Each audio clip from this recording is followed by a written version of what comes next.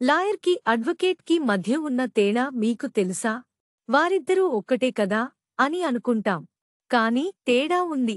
లా complete చేసిన తర్వాత bachelor of legislative law LLB degree అందుకున్న వారిని లాయర్ అంటారు.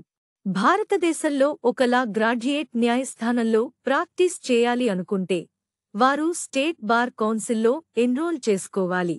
అలాగే ఆల్ ఇండియా బార్ ఎగ్జామినేషన్ ఆయిబు కూడా క్లియర్ చేయాలి. ఎల్బీ డిగ్రీ ఉండి బార్ ఎగ్జామినేషన్ క్లియర్ చేసిన వారిని అడ్వకేట్ అంటారు. ఒకవేళ ఒక వ్యక్తి ఇంగ్లాండులో సౌత్ ఆఫ్రికాలో లేదా స్కాట్లాండ్లో లా చదివి వస్తే వారిని బారిస్టర్ అని అంటారు.